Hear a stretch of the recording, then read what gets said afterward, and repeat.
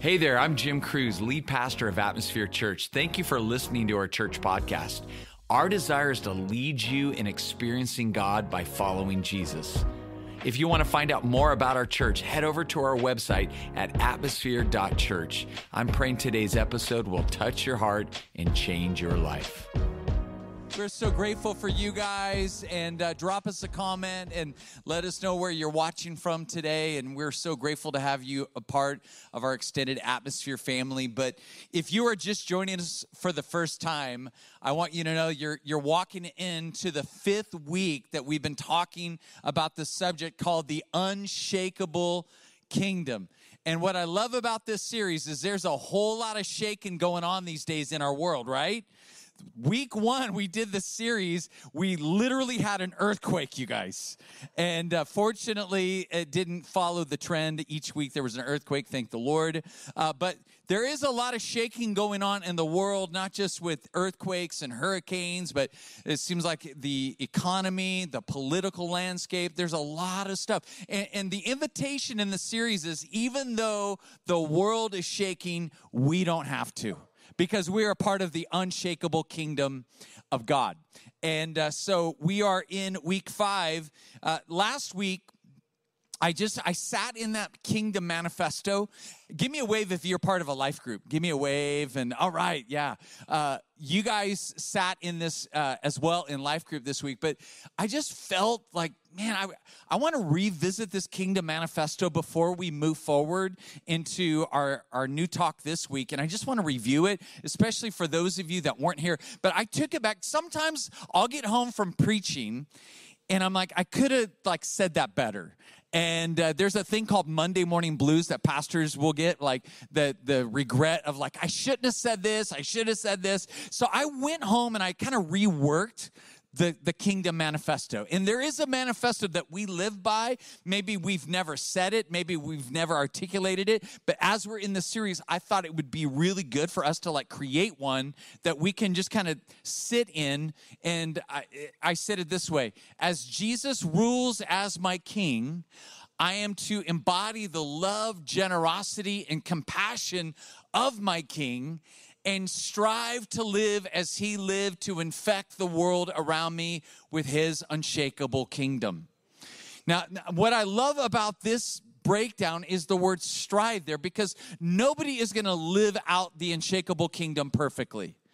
God is not into perfection as much as he's into progression. He wants you progressing more and more towards his kingdom. But I love this word strive because that, that just means like we're, we're moving ourselves uh, towards this this unshakable kingdom intentionally. And then it says this would include sharing with others the incredible love that God has for them and how He wants a relationship with them. So you share it, uh, bringing healing to the hurting and hope to the hopeless. So, so that, that is activated in you caring for the poor and the marginalized, forgiving people who have offended me, wounded me, or hurt me, and going to places and being with people who are looked at by most religious people as people I shouldn't associate with.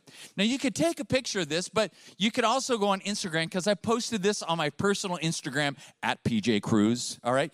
But it's not like my cousin Tom, it's C R E W S, like Terry Crews, my other brother. Um, so, PJ Crews and I, you can like look at this and maybe sit in this in your devotional time this week and just ask the question, Lord, how am I doing? How, how am I living in alignment with this manifesto that you've given to us? And, and really, this manifesto comes from the Sermon on the Mount in Matthew chapters 5 through 7. Now, as we talk today, we're going to move from Kingdom Manifesto to what I call Kingdom Values. So if you're taking notes, or you can open our app and you can follow along, but write that down Kingdom Values. And it, I, I, don't know, Taryn, you're pretty quick on the draw. She's our pro presenter. Can we get up for Taryn? She's amazing. All right the tech the tech booth never gets any love and they're like literally holding our whole service together all right? So i can't appreciate them enough. But i want to go over to the the definition of values because I, I think like as i looked at last service i go i need to probably start with this definition. So uh, how would we define values? It, values is a person's principles or standards of behavior one's judgment of what is important in life. So there's a standard of behavior. Now, every kingdom, you guys, every culture, every country, every nation has standards. Now they take these standards and they make laws and and they have, you know, fines and and punishment if you don't abide by the laws. And and I was looking this week at some ridiculous laws that are around the world in different nations and I just was like, man, it's so crazy to think about these laws. But the first one that really caught my attention was in Iran, it's illegal to rock a mullet haircut. It is. It's it's illegal. And and I, I just thought, like, wow. Some of you are like, I wish that was true in the USA. Because have you guys noticed the young adults are rocking mullets again? I just love it, all right? I wish my wife would let me bring my, my mullet back, but she's like, no way, dude. It's not gonna happen. But I, I, just think about this. This is so such a wild rule, and uh, I guess because they don't like the, the Western culture in Iran. But by the way, here's a fun God story for you. That in Iran right now, it's been reported by multiple people to me as a pastor that Jesus is appearing in people's dreams that are living in Iran, and and there is a great awakening happening in Iran for the kingdom of God. And I just thought that was so cool. Uh, here's another one for you. Uh, in Japan, there's a there's a law. This is not like an old law. This just passed. In Japan, there there are strict regulations on the size of your waistline. It's called the Metabo law. And it requires the people ages 40 to 74 have their waist measured annually to ensure they meet a government mandated standard. The government has set a maximum waist size for adults, and those who exceed it may be required to participate in weight loss programs. Wow. Japan. In France, it's illegal to name your pig Napoleon.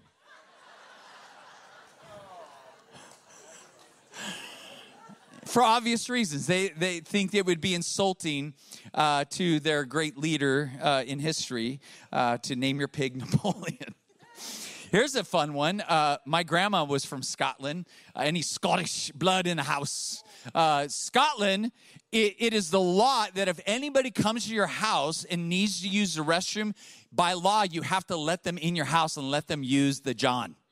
Yeah, it's true. So so you don't you don't have right like, like hey man, I got to use the bathroom. They can come in your house and and uh, you, you know take take their time and go into the, your bathroom. In Samoa, it's illegal to forget your wife's birthday. I don't know how this law happened.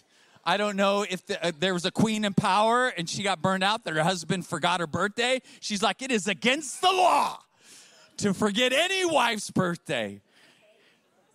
In Singapore, it's a criminal offense to chew gum. How many already knew this rule? So these are good to know, like before you travel abroad. Uh, that uh, your first offense, if it's non medicinal, your first offense is a fine of $1,000. A second offense will cost $2,000 along with community service. Crazy. Just a, just a snippet of, of these laws and standards that other countries and nations have.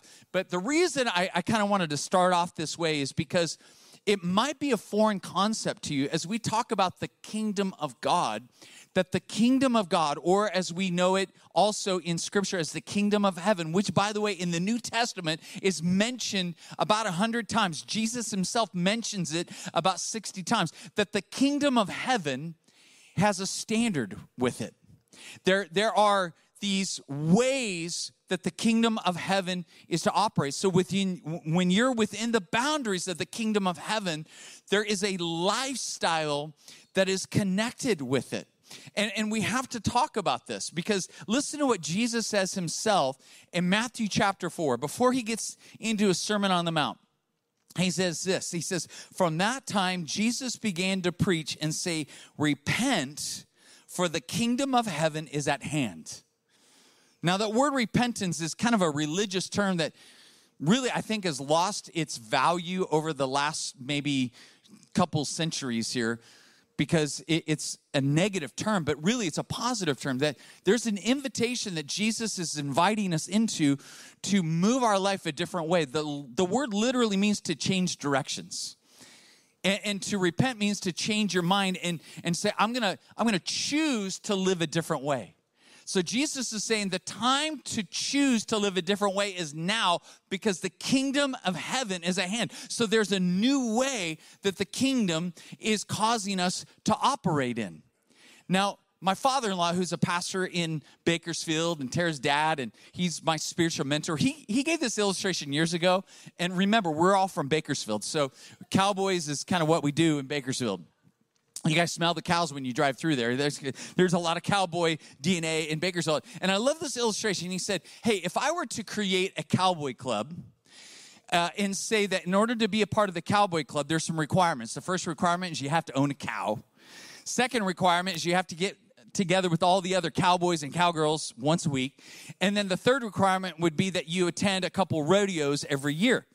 And in order to experience the benefits of the Cowboy Club, you'd have to do these things. And the benefit is you get to use the big ranch. You have an all access pass to use the big ranch, which has everything that you would ever need or want as a cowboy. You get to experience the big ranch if you do these requirements. So the, the illustration is if somebody comes up and says, I want to be a part of the Cowboy Club, but I, I don't own a cow, then the person that is running the cowboy club has the ability to say well then you can't experience the big ranch because you're not you're not fitting the requirements of of like doing what it takes in order to experience the benefit of being in the cowboy club. And I know this is like a weird illustration, but when her dad gave that to me years ago, that just, like the nickel drop, that, that just made sense. I go, yeah, I mean, whoever designed it gets to choose the standard for how you're living within that region or for how you're living w- within that space. And so the kingdom of God is a space in which God is king. That's what a, a kingdom is. It's, it's a dome in which there is a king. And so if you're saying, I want to enter into the kingdom of heaven, then what you're doing is you're making a, a decision to say, I'm going to choose to make Jesus as my king. And here is what you need to understand. In order for Jesus to be king, we follow his rules to come under his rule. We follow his rules to come under his rule. Now, here, here's the tricky thing about the kingdom of heaven it's both inclusive and exclusive. It's inclusive in the sense that everybody is invited into the kingdom of God. Everybody. No matter what you've done, where you've been, or who you've been with, you're invited to live in the kingdom of heaven. It's inclusive but it's also exclusive, meaning that once you decide that you are going to come into the kingdom of God, which means that Jesus is ruling and reigning as your king, now there is a standard of how you're going to live your life that's different than the standard of how you've been living your life. There's the repentance. I was living this way, going this direction, but now that Jesus is ruling and reigning as my king, I'm turning and I'm heading this direction. Now, what makes this message so hard, and you might want to take back your appreciation of me, but I'm just going to tell you the truth, all right? I'm just, I'm here to tell you the message, but I'm not the one that made this up. Jesus made this up. So, a lot of us, we love Jesus because Jesus fits in our pockets, all right? This is say hello to my little friend. This, for those of you that are atmosphere OG, you know Pocket Jesus has been with us since we started the church. Pocket Jesus got me through COVID because I couldn't preach to people. I was preaching to a camera, so I put Pocket Jesus on the end of the camera. It's like, at least I got Pocket Jesus to preach to. But I bring up Pocket Jesus every once in a while because if we're honest with ourselves, we love the concept of Jesus forgiving us. We love the concept of Jesus saving us. We love the concept of Jesus rescuing us. But then we just go and live our life however we were living before. This this kingdom of God requires a king size Jesus, not a pocket Jesus. See, pocket Jesus is you just keep living however you want, and then when you need him, you just pull him out of your pocket. So when you're talking about the kingdom of heaven, Jesus is king size, you go in his pocket. Come on, somebody. You, you fit in his pocket, you go where he goes, and, and you, you're just along for the ride. So a lot of people they they love Jesus as savior, but they're stopping short of loving him as their king. And one of the takeaways I hope that all of you are really embracing is that Jesus is inviting you into his kingdom, but in order to do that, you have to move from savior to king. And that's how you are able to experience the kingdom of heaven. Now, as I talk about this, I, I want to give you a scripture that I think is so jolting because I, I, want us to read this like with a fresh way of looking at with this kingdom of God in view because this is one of the passages where the kingdom of God is mentioned outside of Jesus. The apostle Paul is writing this letter to the Galatian church and this is what he says. He says, "When you follow the desires of your sinful nature, the results are very clear sexual immorality, impurity, lustful pleasures, idolatry, sorcery, hostility, quarreling, jealousy, outbursts of anger, selfish ambition, dissension, division, envy, drunkenness wild parties, and other sins like these. Let me tell you again, as I have before, that anyone living that sort of life will not inherit the kingdom of God. Let's sit in that for a second. Take a deep breath. Because some of you, I just described your lifestyle in that little short paragraph. It says you're not inheriting the kingdom of God. Now, I, I will say there, there is an eternal value of what Paul is writing, that there is eternity in view. Everything we do on this earth has eternity in view. So there is an eternal value of the kingdom of God. But I believe it's so much grander than just what happens when we die. I, th- I think the real, like, deep meaning here is what happens just while we live because the kingdom of God, Jesus says, is now. It's this space and it's this place where, where God is reigning. And, and when we are living according to his ways and living under his rule for our life, then there's a lot of things that we are experiencing that we would otherwise never experience because we are coming into the kingdom of God where there is fullness of life. Every ancient civilization built the, the town or built the kingdom with walls and gates. And the whole reason they did this was protection against the invading armies and the enemies that wanted to come against the kingdom. And so they would build these walls and they would make these gates. And I want you to know the kingdom of God is no different. That there are boundaries that God is calling us to live with that are actually not about restriction as much as they're about protection. And you don't need a pastor to preach to you this whole thing. And, and you certainly don't need a, a, Bible verse because some of you have lived in these spaces where you know that, man, when you give yourself over and do however you want and you don't have any boundaries set up in your life, man, you can like invite all kinds of disaster into your life.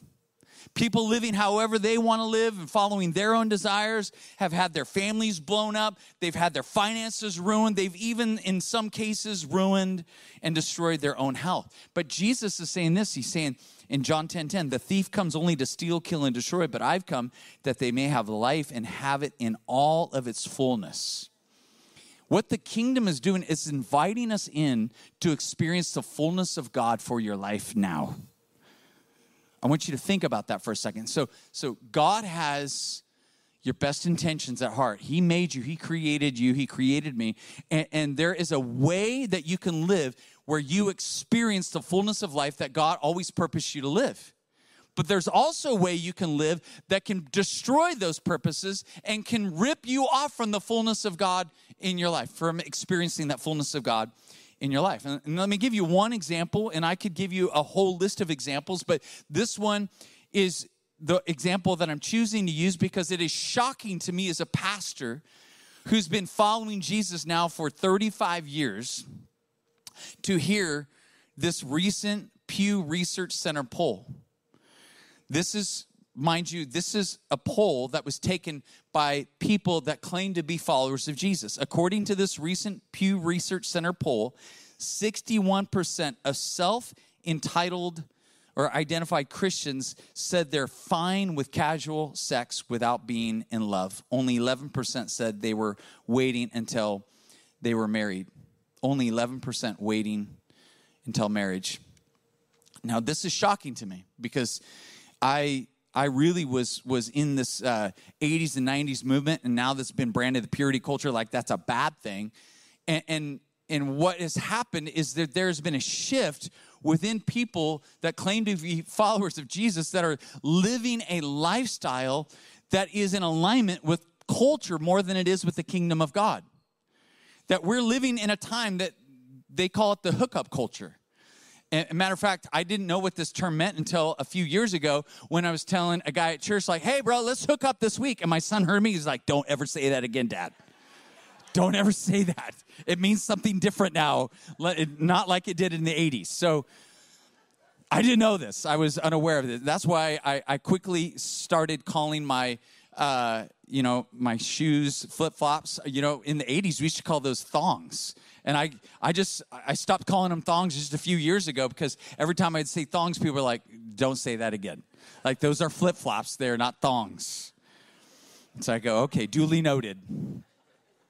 But as, as I think about this, you guys, like, it, it's pretty common that when you are, are into somebody, that you just jump in bed with them.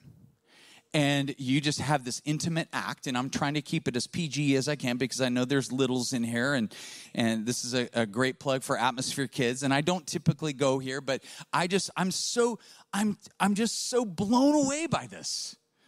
Like it, it is so prevalent. This isn't, I don't expect the world to act godly, but I certainly expect people that claim that, that they belong to the kingdom of God to, to live differently than the rest of the world. But here I'm like, I'm, I'm almost like I'm speechless. Like, how, how could we like move so much into this area? And it just blows my mind because, I, I mean, Jesus, he spoke about marriage and he spoke about what marriage is in Mark chapter 10. He, he goes on record to, this is in context of divorce, by the way. He says, But at the beginning of creation, God made them male and female. For this reason, a man will leave his father and mother and be united to his wife, and the two will become one flesh. So they are no longer two, but one flesh. So he's united to his wife before they become one flesh. Did you catch that? So Jesus is giving us the Genesis 1 and 2 model of how God has created everything to be worked out and lived out. And so Jesus is commending that. Now, if you follow the sexual ethic from Genesis to Revelation, you will you will see clearly that God's desire is for you not to be intimate with somebody that you are not married to. The marriage covenant is there so that you can become intimate, you become one with somebody that you you really really know. And that's the idea of a covenant relationship is like you're not going to cross this line until this covenant is made. And you're not going to create a covenant with somebody until you really know that that is a person you should be with. In biblical times, they, they would do, you know, uh, betroth their, their sons and daughters and, and they had to marry people. I wish they would bring that back, okay? It would just make it so much easier for our young people and mom and dad would be extremely happy, right? Um, I didn't want that when I was a teenager, but now that I'm a parent of young adults, I'm like, we need to bring that one back. All right. But as I, as I think about this idea, and I and I look at the culture that we're living in, there is a call of God to live a different way with Jesus being our king.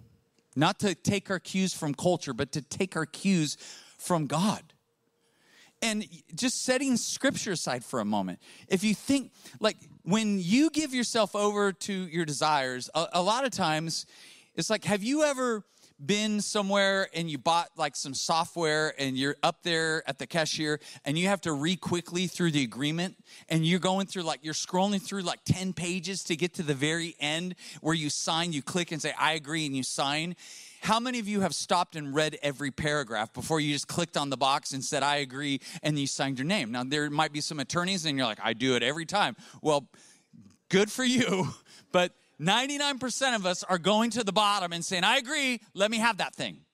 and that's what we're doing. And, and I think what happens is we see all the fun we see all of the, the, the glitz and glamour of these decisions, and, and there's fine print. It's in like size five font where like your cheaters don't even allow you to read it properly. And, and, and the, it's just like very, very minimal. And then we're just signing our life to certain lifestyles and doing certain things, not realizing the baggage that is attached to living that kind of way. And I, and I started thinking about like when, when you are one with somebody that is not your spouse, is not your husband, not your wife, what happens is the, the waters get muddied. And you know, you can be in a relationship and there could be red flags. This guy is so toxic. He's a narcissist. Everything in you is like run away. But because you've been intimate with him, there's there's this uh, this this pull that this person has on you. And even though everyone around you is going, "Run, lady, get away from that guy," you're like, don't know, but I kind of love him because you've crossed a threshold that is making it super confusing for you. If you had not crossed that, it would have been easy for you to say, no, thank you. So your emotions get really muckied when you cross this line with somebody that's not your spouse. And when that come that time comes where you reveal like there's some toxicity with her. And just like, I shouldn't go for her because all these things. Now it's all muckied up because you've been intimate with her. And now you're like obsessed with this person that you should be running away from. And the whole time that you're obsessing with her, you are not making yourself for the one that God is calling to be your wife. And so you're so like you see how it can mess you up emotionally? The the word that we use in, in church language is soul ties. And it may be not the perfect expression for this idea, this understanding, but when you're intimate with somebody, you're tying yourself to that person emotionally as well as physically. There's an attachment. There's you're giving a piece of yourself away. So there's this emotional baggage that you're allowing in that can help or, or, that can hurt you as far as discerning whether or not you should be with this person. And then, I mean, there's the common STDs that the world talks about all the time. I'll never forget one of the the hardest phone calls I ever had as a pastor. This lady was on the uh, the uh, the husband was on the phone. He just got married to this lady, and she had herpes. And he's on the phone with me saying she's like crying. She can't stop crying because like she didn't reveal to him before they got married that she had this STD, and now she's embarrassed because she's knowing that she's gonna be intimate with her new husband, and, and, he's needing me to just pastor him through this moment because he doesn't even know how to comfort her because she is so. Uh, upset at herself for giving herself away and, and picking up this disease that, that if she had just waited and just kept herself pure like this std wouldn't be on her body now there's grace there and i will talk more about that in a little bit but that doesn't eliminate or erase how messy this situation is when God is calling us to live a better way, a way that there's fullness of life. And then you've got unintended pregnancies. You, you sleep with somebody like this, then ladies, you can get pregnant. And what you find in this culture is just like pregnancy is just like an inconvenience now. And I'm like, man, God, help us that we look at pregnancy as an inconvenience when in reality, pregnancy means that God has knitted and made a human being inside of your body that has a purpose, that has a calling. It doesn't matter the context of how that human was being created. The fact is that there's a human inside of you. And sometimes it can be so scary, especially if you're young. And this is why people that are teenagers, they, they shouldn't be sexually intimate with somebody. I mean, they, they're not prepared for marriage and they're not prepared for parenting. And so you get into this really complex thing, and now people are having to make really, really difficult decisions. And we live in a pro abortion state where it's so easy to get in your car and drive down to Planned Parenthood and get rid of this inconvenience. When I'm thinking to myself, how come Planned Parenthood is not saying it and telling people that if you do an abortion, if you have an abortion, then there is a, a chance, there is a possibility that in that abortion, you can make yourself sterile for the rest of your life. And when you do want kids, you're not going to be able to have kids. Some of you are like, that, that's not true. I know that's not true. Well, fact check me, go to Mayo Clinic. And more than that, I will tell you a personal example. I was praying for a lady. Tara and I were just so close to this woman. And in her early years of being a young adult, she gave herself to this guy a couple times, different guys, and she got abortions. And then she came to a place where she found the man of God that she wanted. She got saved. She, she gave her life to Christ, and they were living in this Christ centered marriage. And now it came time to have babies, and she found out that she can't because of two botched abortions that just ruined her, her whole uh, reproductive system. And I, and I hear, I hear politicians, reproductive rights, and I hear, I hear all of that, but I'm like, why aren't you telling people the fine print here? that it's not as easy as just going down to a clinic. There are repercussions. There are there are fallouts. There's collateral damage that is happening with these decisions. And I know that the topic of abortion is complicated. And I know even me mentioning it, some of you are like on pins and needles, going, "No, is he going there?" This is a human life that is in the womb. This is not a fetus. This is not a clump of cells. This is a human life. The minute that heart beats and the minute the blood is flowing, that, my friend, is a baby. It's not a fetus, it is a baby that has a plan and a purpose of God. And say, that offends me. I'm sorry it offends you, but I want you to know that God values life. And if you have a problem keeping that baby, you come to us. And I will say the same thing that Mother Teresa said about abortion. When somebody asked her, How do you feel about abortion? She said, If you don't want your baby, give your baby to me. And if that works for Mother Teresa, that works for Pastor Jim Crews. And I will tell you that, that we will take care of that baby and we will we will love you through the whole process that you don't have to turn to these ways and, and god will redeem even the, the worst situation but but I, I just I don't mean to get on a tangent about abortion, but this thing really it hurts my heart that we have a bunch of young adults growing up in a culture that is a hookup culture and they're letting that be brought into the kingdom of heaven and the word of God says, listen, you will not inherit the kingdom of heaven if you live this lifestyle. You are not going to have the fullness of life that Jesus intended you to live with if you continue to give your body away to anybody that just happens to say you're cute. Are you guys okay? I don't know if I am.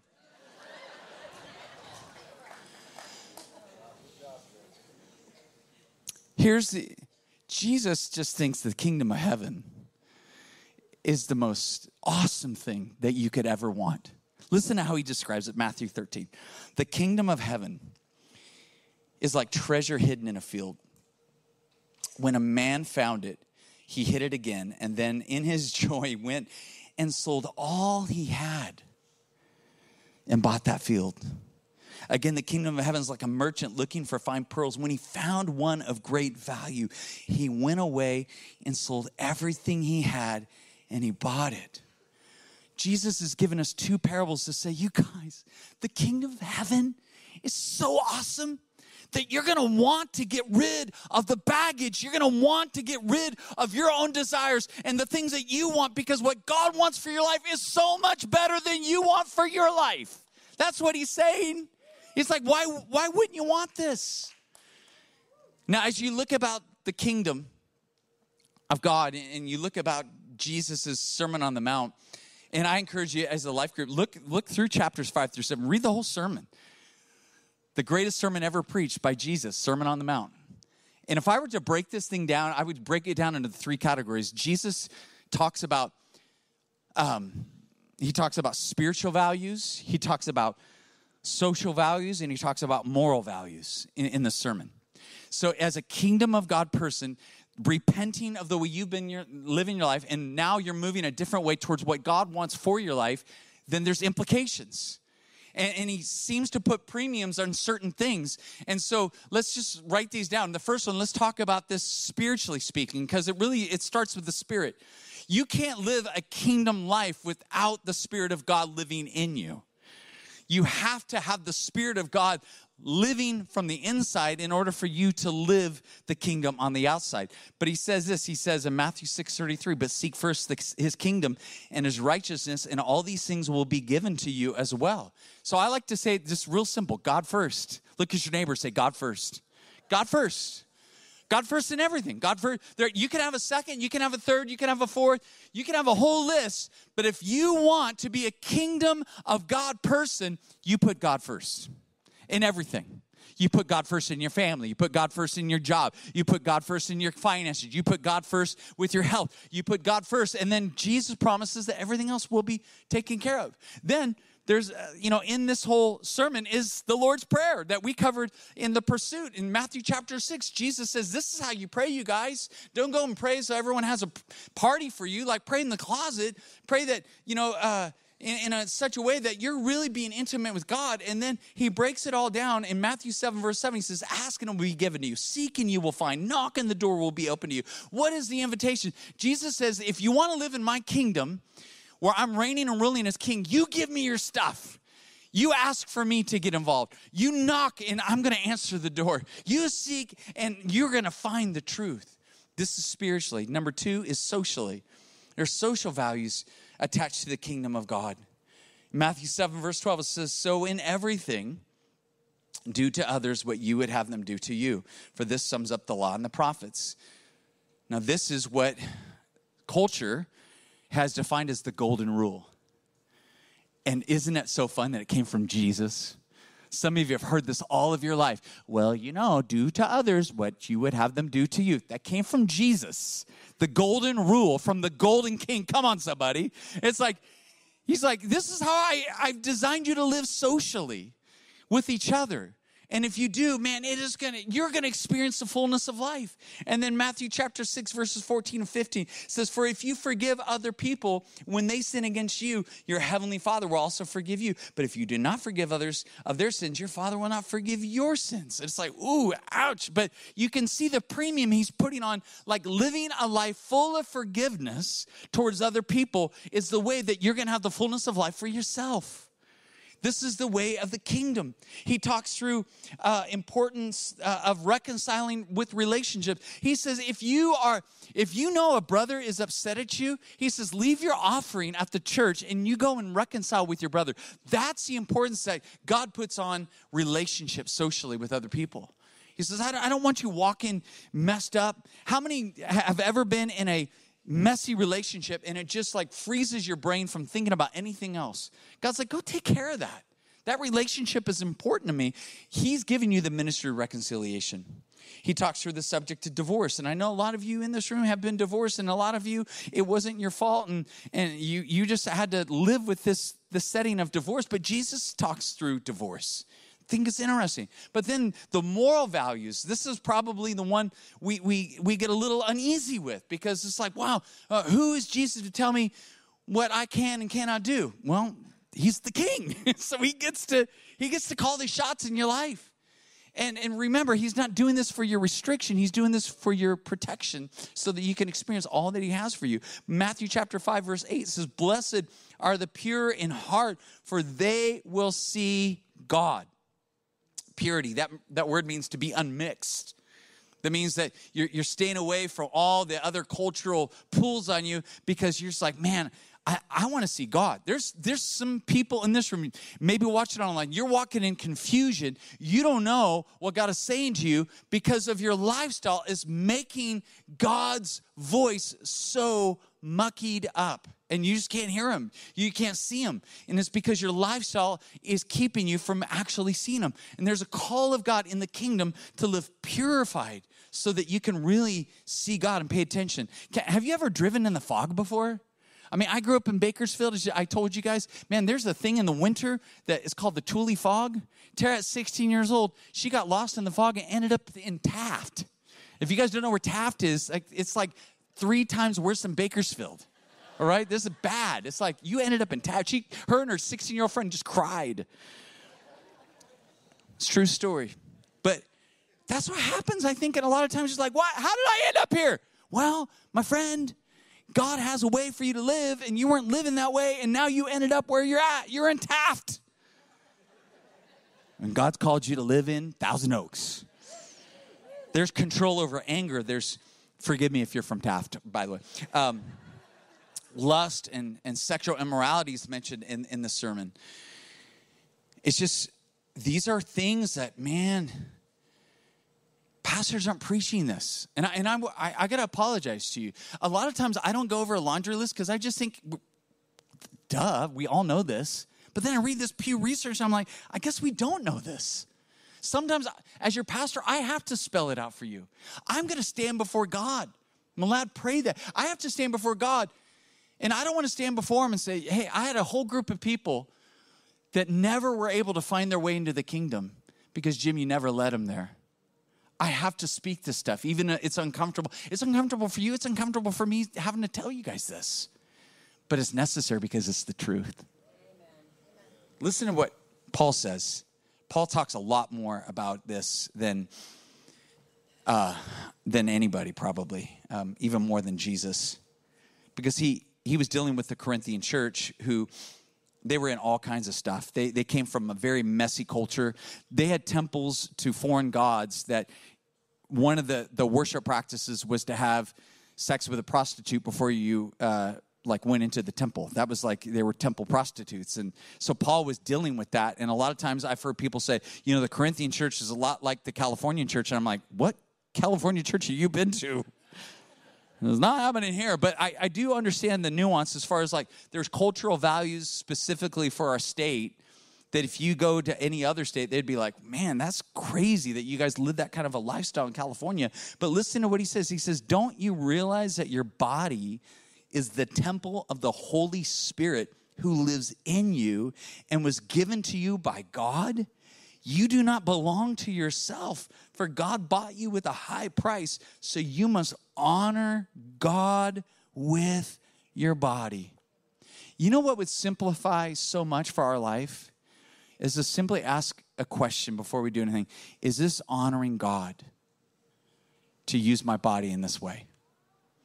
Man, how many things would it pull us away from and say, no, that is that's the opposite of honoring God with your body. And I just think it just stops us in our tracks. And, and here's how Jesus ends, he lands the sermon this way. Matthew chapter 7, verse 13 and 14. Enter through the narrow gate, verse 13. For wide is the gate and broad is the road that leads to destruction. And many enter through it, but small is the gate and narrow the road that leads to what, church? That leads to life. And Jesus says, only if you find it. Why? If it's full of life, why do only if you find it? Because in this process, it's conflicting with the desires that are in our flesh. And we don't want to turn some of those buttons off. That brings us pleasure. And so, in order to pursue God, there's a lot of things that are saying, hey, if you really want to pursue, if you re- really want to, you know, have the benefits of my kingdom, th- then you got to be willing to let go of these things and pursue my right way of living. And it's hard. So a lot of people say, I'm good with pocket Jesus. But again, not to sound redundant, but pocket Jesus will never allow you to enter into the kingdom of heaven. It requires king size Jesus where he gets to call the shots, where he sets the rules, and you follow under his rule. Then he goes on to say, verse 21, he says, Not everyone who says to me, Lord, Lord, will enter the kingdom of heaven. Did you catch that? But only the one who does the will of my Father who is in heaven. Many will say to me on that day, Lord, Lord, did we not prophesy in your name, in your name drive out demons, and in your name perform many miracles? And I will tell them plainly, I never knew you away from me, you evil doers. This isn't a call again to perfection. This is talking to people that blatantly practice evil doing and are unapologetic about it, unrepentive. Like, that's just who I am, bro. This is what I do. Well, you can do what you want to do and you could be how you want to be. But if you want to experience the benefits of the kingdom of heaven, that is better than anything that this world can offer you, then you got to give up your rights to follow His right to be the king of your life and to call the shots in your life. I can't tell you guys. I'm just going to sit with you for a second. Can I just sit with you? Just, just two. Give me two minutes. I pray over you so much. Taryn, I pray over you guys so much. Some of you don't even know. We, we pray over you by name. I, don't, I know I don't know all of you, but listen to me. I have to stand before God. And I have to give an account for how I taught you guys. And this cultural trend of the church is troubling your pastor because God has so much better for you. He has so much to offer you. And and it's like we're we're going to the garbage can when there's a king's feast at the table. And Jesus is inviting us in to eat at the king's table, and we're settling for the garbage in the alley, thinking that that's better for us. You guys, listen to me as your pastor. Please hear my heart. I love you. I don't want to condemn you. I don't want to just throw shame and guilt on you and say, you know, you do better. I'm saying it's only by the grace of God that I can sit here with you to say, God has a better way for your life. And nobody here is going to do it perfectly. But can we as a church family, can we strive to live God's way over our way? Can, can, we, can we go for it and say, God has so much more to offer us than we could ever offer ourselves and start moving our life in that direction? And my friends, I'm telling you, some of the depression's gonna leave immediately, some of the anxiety is gonna leave immediately. All these things, I believe, are indicators that you are participating in things that are taking your life instead of giving you life. And the kingdom of God is the only thing that this world has that is going to bring you the fullness of life. And Jesus is the king of that kingdom. And he wants to be the king of your life. So, can you pray with me? Lord, I know, God, that as I sit here, Lord, I love these guys with all my heart. And my heart bleeds, God, for every woman here that has chosen abortion. God, I pray, Lord, for your healing hand of heaven to just hug them and love them and show us how we can come around them, Father.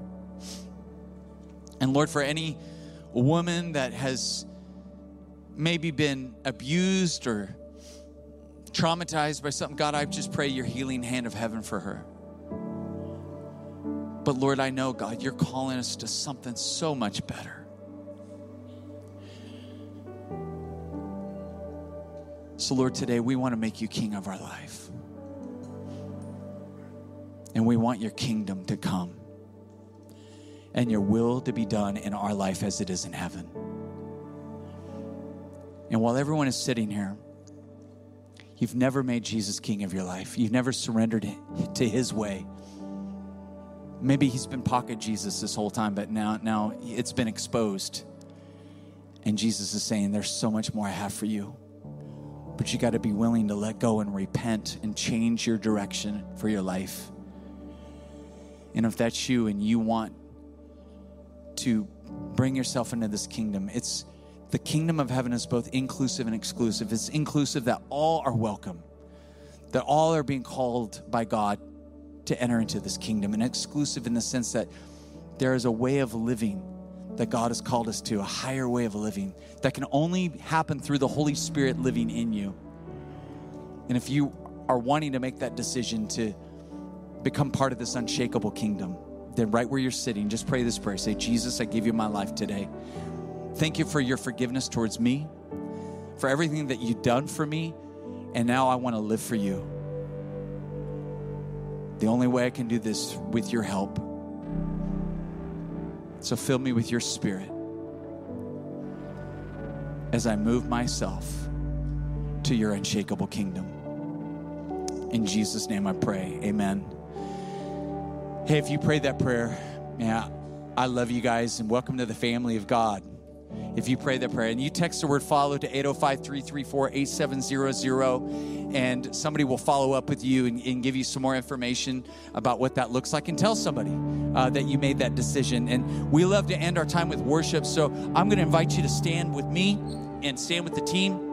And maybe this is a good time of reflection. We're saying, God, if there's anything in my life that is in conflict with the direction that you want me to go to live for your kingdom, then Lord, identify it so I can surrender it as we worship. But please don't run out of here. Uh, just stay in this moment of worship and do some business God. The communion tables are open. Let's worship.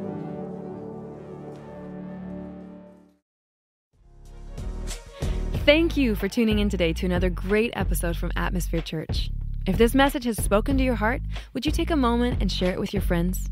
You can connect with us on Spotify, Apple Podcast, YouTube, and Instagram.